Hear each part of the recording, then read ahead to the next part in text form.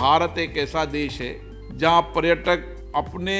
घूमने के अलावा यहाँ योग, प्राकृतिक मेडिकल टूरिज़्म एजुकेशन टूरिज़्म संस्कृति टूरिज़्म के लिए एक बेस्ट डेस्टिनेशन दुनिया के अंदर भारत है। मेरी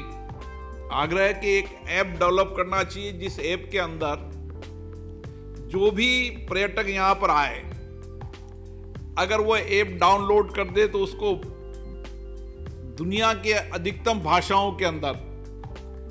उन टूरिस्ट स्थलों की जानकारी और कोई भी घटना घटती है तो उसकी पुलिस हेल्पलाइन और सारी जानकारी एक ऐप के अंदर डेवलप हो जाए। देशी और विदेशी जो पर्यटक हमारे यहाँ आ रहा है, उनको पर्यटक स्थल पर